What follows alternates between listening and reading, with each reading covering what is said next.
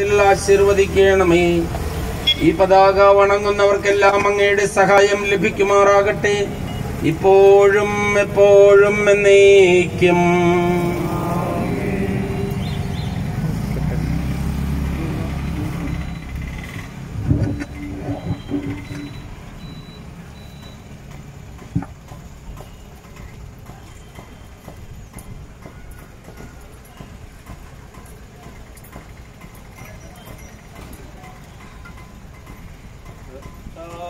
മിശികാതൻ കാരുണ്യവും.